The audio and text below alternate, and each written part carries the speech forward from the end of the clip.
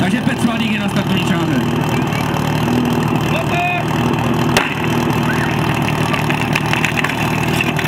Krásný kočík. Nalivačka sedla.